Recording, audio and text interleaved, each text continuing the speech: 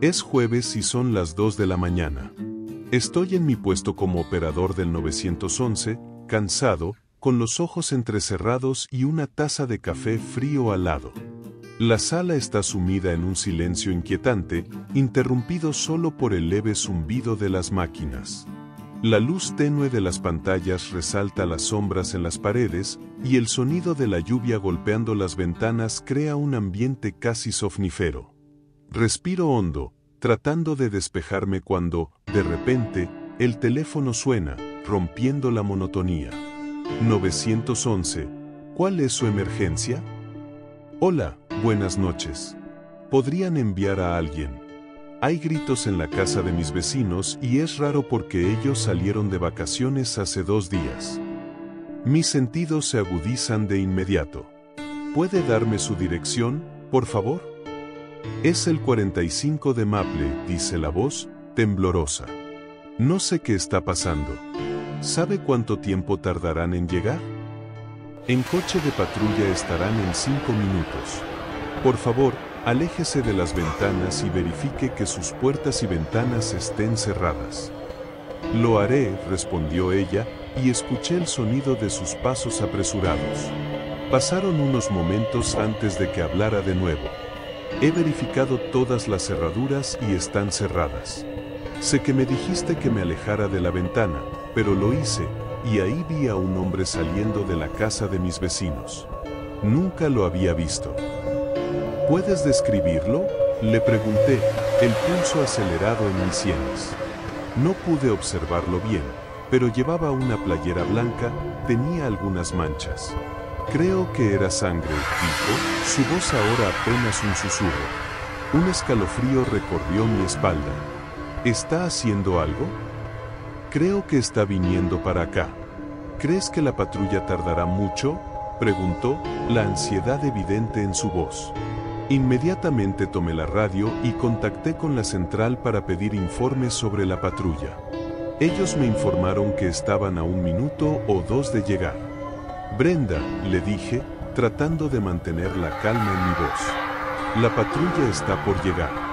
Por favor, entra al cuarto más seguro de tu casa y enciérrate. Ella asintió. Voy a encerrarme en el baño, dijo con voz temblorosa. Le aseguré que cuando los oficiales llegaran, yo le diría. De pronto, escuché un pequeño grito. ¿Qué pasó? Pregunté sintiendo que el corazón me latía con fuerza. Escuché un vidrio romperse, pero la alarma silenciosa está puesta, explicó, su voz apenas un susurro.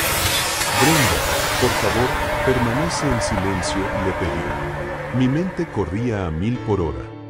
Cualquier ruido puede atraer su atención. Brenda, por favor, permanece en silencio, le pedí. Mi mente corría a mil por hora. Cualquier ruido puede atraer su atención. Ella se quedó en silencio, solo podía escuchar su respiración agitada por la bocina del teléfono. Entonces, Brenda dijo, creo que la policía llegó. Escucho sirenas. Bien, respondí, tratando de mantener la calma. Mantente escondida. Voy a confirmar la información. Hablé rápidamente a la central. ¿Pueden confirmar que la patrulla está en la escena? Sí, están allí ahora mismo, me respondió el operador. ¿Cuál es la situación? Una chica está en su baño, encerrada. Me reportó que alguien irrumpió en su casa y que escuchó ruidos extraños. Necesito que envíen a los oficiales a verificar. Entendido. Vamos a hacer que se acerquen a la entrada trasera. Mantente en la línea con ella. Recibido. Regresé a la llamada con Brenda, mi corazón latiendo con fuerza. Brenda, la policía está aquí. Ellos van a entrar en tu casa. Mantente en silencio y no salgas hasta que te digan que es seguro. ¿Están aquí de verdad? Su voz temblaba, la desesperación a flor de piel. Sí. ¿Puedes oír las sirenas? Le pregunté. Sí, pero, ¿y si él está todavía dentro? No lo sé, pero tienen que entrar. Solo confía en ellos. Los minutos pasaban como horas y el silencio se volvió abrumador. De repente, escuché un ruido sordo del otro lado de la línea. ¿Brenda? ¿Estás ahí? Le pregunté, con el estómago revuelto. Sí, pero, escuché algo en la sala, respondió, su voz casi un susurro. Permanece en el baño. No salgas, le ordené, sintiendo que el pánico comenzaba a apoderarse de mí también. Voy a averiguar lo que sucede.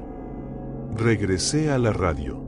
Regresé a la radio, preguntando qué estaba pasando, pero ninguno de los oficiales contestó. La tensión en mi pecho se intensificó. Hablé a la central, mi voz temblando de ansiedad. ¿Pueden contactar a los oficiales en la escena? Lo intentamos, pero no hay respuesta.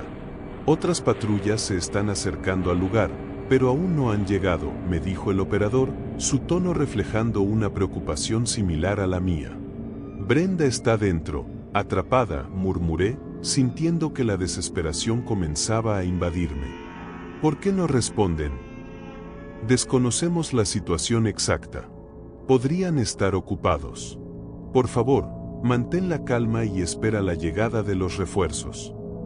Calma, respondí, incapaz de contener mi frustración. No sé si ella está bien. Necesito saber qué está sucediendo dentro de esa casa. Sin otra opción, volví a la llamada con Brenda, aunque temía lo que pudiera encontrar. Brenda, ¿me escuchas? ¿Estás ahí? Pregunté, pero no hubo respuesta. Brenda, contéstame, por favor.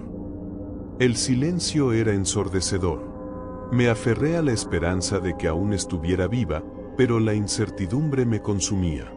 Cada segundo parecía una eternidad. Finalmente, escuché un sonido en la línea, un susurro apenas audible. Tomás, estoy aquí, dijo Brenda, su voz temblando. Gracias a Dios, exclamé. ¿Qué está pasando? ¿Estás bien?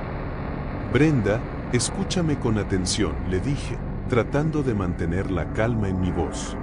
Tienes que mantenerte en silencio. ¿Tienes algo con lo que puedas defenderte?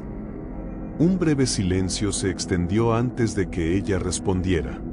No, solo tengo un frasco de spray para el cabello. Eso puede servir, le dije, alentándola. Si él entra, rocíalo y busca salir por la ventana. Las patrullas están en camino, solo tienes que aguardar. Pero no sé cuánto tiempo tengo, respondió, el terror palpable en su voz. Siento que está cada vez más cerca. Escucha, Brenda. Cualquier ruido puede atraer su atención, así que mantente callada. La policía llegará en cualquier momento. ¿Puedes escucharme? Sí, dijo, aunque su voz temblaba. Estoy en el baño, en el piso. No sé si me escuchará. Tranquila. Respira hondo y mantén el spray listo. No dejes que el pánico te consuma. Recuerda que no estás sola, estoy aquí contigo. De pronto, escuché la voz de la central. Tomás, tenemos tres patrullas en la escena. Todo está tranquilo, pero no logramos contactar a los dos oficiales que llegaron primero.